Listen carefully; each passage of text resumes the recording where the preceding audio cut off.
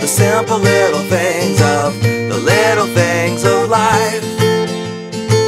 And I promise if you, you, you take the time, time, time, you won't be looking for too long before you find this little secret of mine. It's a hello from a friend